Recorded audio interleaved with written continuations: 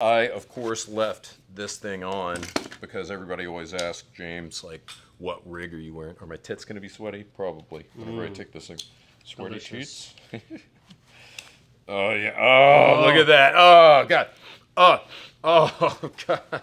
First things first, we take care of the people who take care of us. That's why supporters on Subscribestar and Player in these past few months have gotten a shot at limited edition Tiger Stripe TFB TV Blue Force Gear slings. We only made 100. First access to the Thunder Ranch concealed carry class in New Orleans for the first time ever, with more to come next year. Free cover for the TriggerCon after party in a few weeks, plus the usual six $250 gift certificates that we give away to Top Gun Supply to buy whatever you want with and four $100 Blue Force Gear gift certificates. We give those away every single month to our supporters, not to mention the upcoming Beachmaster shotgun. Only 50 will be made, and only supporters will get a shot at them. We don't take money in exchange for positive reviews. We're viewer supported. That's why it's so very important for you to help us on Subscribestar, Player, Patreon if you have to. You give us something, we give you something back. Come on, join the fun. Oh boy, I'm gonna hate this video. One of my most favorite guns of all time, the legendary H&K MP5. The Mr. Rogers of submachine guns. Comfy, trustworthy, everyone loves it, but it died 20 years ago. And now we've got my Swiss Uncle Karl's Magnum Opus, the state-of-the-art APC-9, first made in 2011 the first submachine gun purchased by the Department of Defense since the Grease gun. These guns are the same caliber, they occupy the same space in firearm classification. They more or less do the same thing as each other. They're even really close in price. But one of these guns is better than the other, and we're going to talk about that today on TFB TV. The H&K MP5, the granddaddy of modern, reliable submachine guns, and in many ways it's never been replicated. Built in the 1960s, it's got a well-deserved reputation for being one of the most reliable, accurate, controllable SMGs ever built, a legacy that no sad, pathetic gun tuber will ever take away, no matter what the conclusion of this video is. Easy to shoot, easy to love. Ask John McClane. I've done 10 million videos on the MP5, so I'm not going to go on too long about it. Let's talk about the new guy. The APC-9 is made by my boys at B&T in Switzerland. To cut to the chase, I feel like Karl Brugger looked at the MP5, took all of the things that were great about it, borrowed them, and then improved in the few areas where the MP5 is lacking. So I break these two guns down. We go front to back at the Neutral Ground Gun Company in New Orleans, Louisiana, going over the differences right now between these two guns. Comparison, H&K MP5, B&T APC9. Let's go front to back here. Up front, you're going to see that these both have tri-lug adapters. A tri-lug allows you to attach a suppressor quicker than a conventional screw-on. This actually is the new B&T RBS SQD Compact. I'm sure that stands for something. I just don't know what it is right now. You can see it's got a tri-lug attachment here. Now, usually how the tri-lug works, you slap it on there, put backward pressure, quarter twist, and it's on with B&T's new RBS QRD ABC123, look at this, you're done. That's it. It slides on. To take it off, you press this button. You press the button, it comes off. Now, as you can see, the shoulder here for this suppressor, it works perfectly with a factory MP5, and that is as close as it's going to get, right? It's buttoned up right against the cocking tube. So this is a neat suppressor, even if you have an MP5. You don't need an APC-9 for this suppressor. Same thing. Boom. Put it on there. Pretty cool. Moving further back, sights. The H&K MP5 has traditional diopter sights. These are known as some of the best sights that you can get for a submachine gun. That's it. It's uh, two concentric circles. Of course, you can adjust the diopter sight and size here on the rear drum. Fantastic. B&T APC-9, sights that it has on it. It's got like emergency sights you can see right here. So something happens for whatever reason, you don't have your flip up sights deployed. You've got traditional like pistol sights. You see you've got the two little rear notches here and a front notch like a front sight. But you also have the option to flip them up, and then you get like standard A2 style. Now, that said, these are plastic sights, so they're not gonna be as durable as what's on the H&K MP5. If you don't like them, you can just get rid of them and buy different sights. But the ones that come with them, they're pretty decent for being plastic.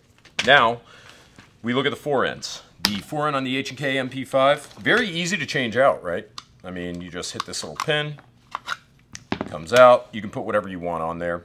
You can put M-LOK. They make M-LOK handguards for it. They make quad rails for it. But you can see with the B&T APC, you are getting a monolithic aluminum upper, which is extremely robust but lightweight. And you've got M-LOK slots. These have Picatinny rails over them.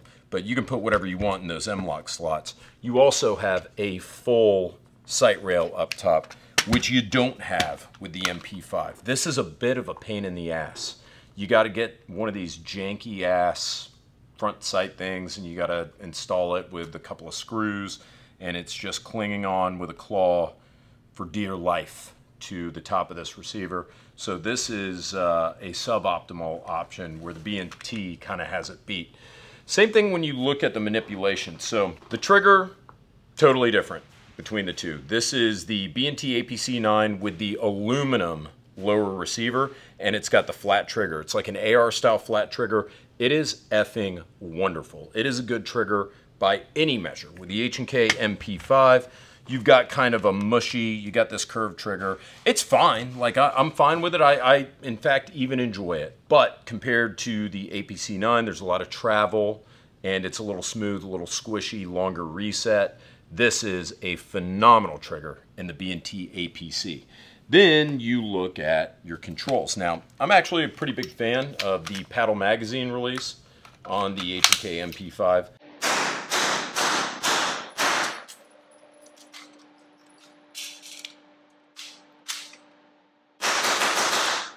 Nobody realistically uses the uh, push button magazine release. Everyone just uses the paddle, so this is functionally worthless, and it got Marco killed in Die Hard because he did not have a Paddle Magazine release on his converted HK94, so he had to give the old HK reach around, as I like to call it, and his slow mag change got him killed. The B&T lightning fast mag changes.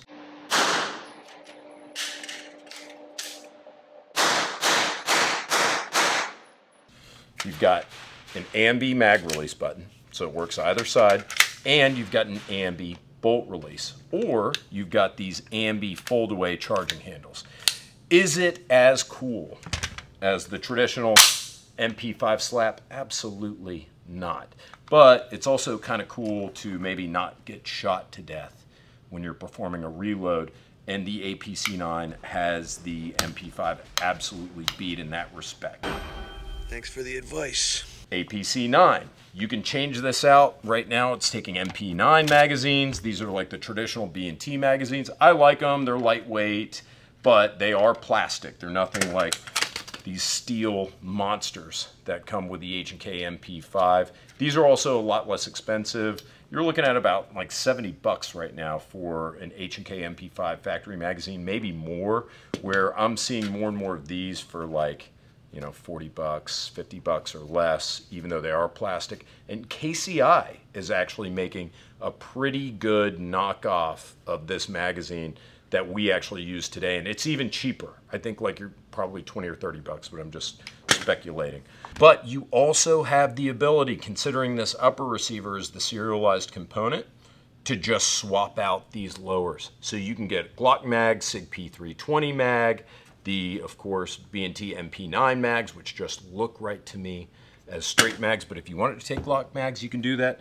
Not the case with the MP5. You're married to these super expensive Teutonic magazines. In terms of stocks, I like both stocks that we have here. So this is the traditional MP5 collapsing stock. You got a little switch right here, collapses, locks into place. You press switch again, you deploy it. There's a whole shitload of different stocks you can get for this. Fixed stock, folding stock, collapsing stock, whatever the case may be.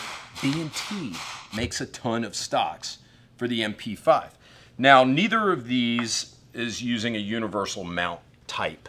As far as B&T, again, you have a proprietary mount up But that's fine because it's a very sleek integration, just like with the MP5, where you're removing kind of the back end of the receiver to have a stock. Now, 1913 rails back here, they're pretty cool, but those stocks tend to be pretty janky looking. And yeah, you can use all different types of stocks, but this really is a clean, seamless interface.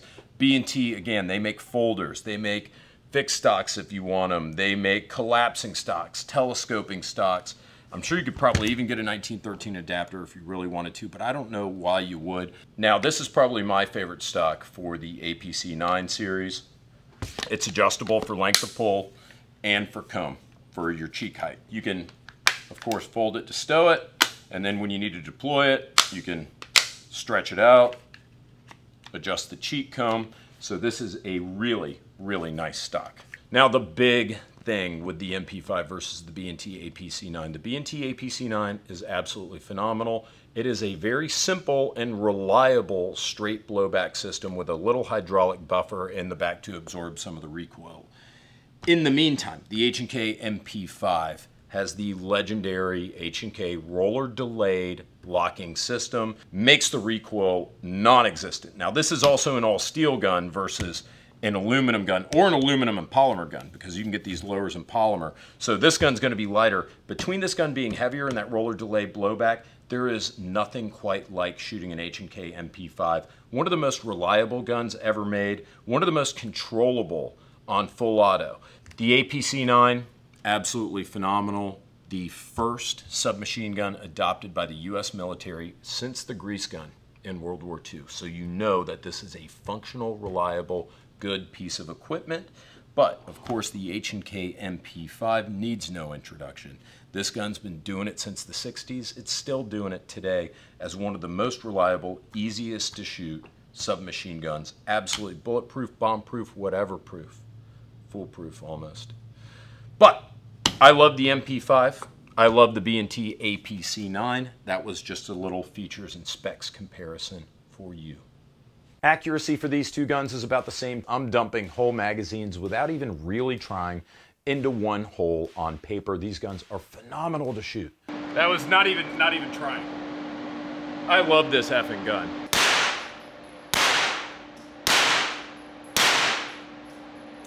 I mean, same, same with the MP5, just 25 feet, one hole. What you gonna do?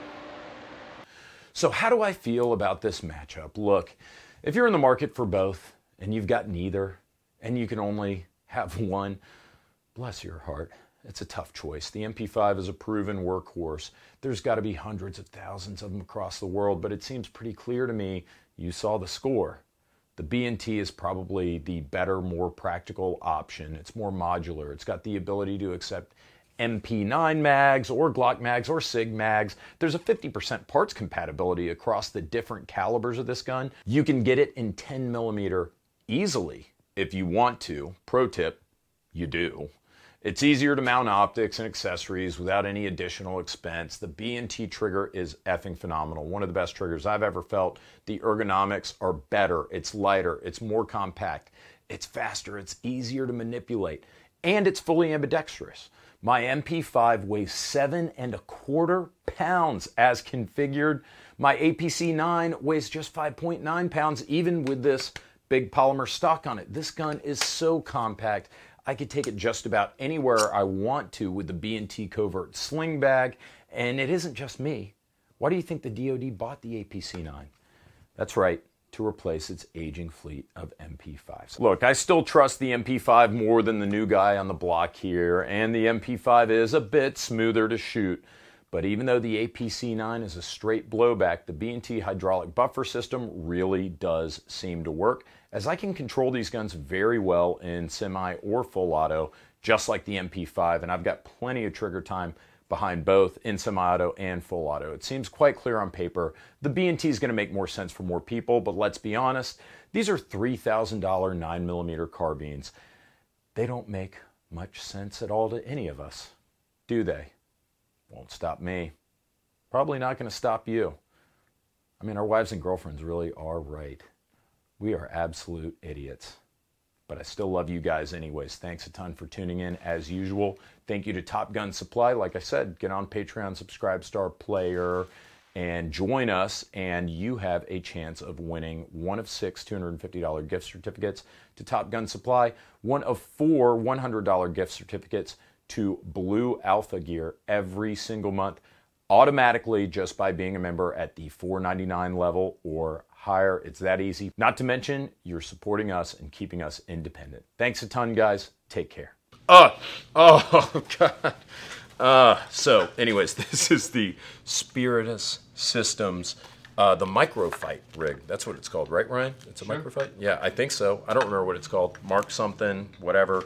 And I've got my pistol caliber carbine or pistol magazine inserts here and my AR mag inserts. You can throw a pistol mags in there too, PCC mags, of course. Um, but absolutely love this. My favorite rig. I am not sponsored by Spiritus. I have nothing to do with them. I don't even think they like me that much.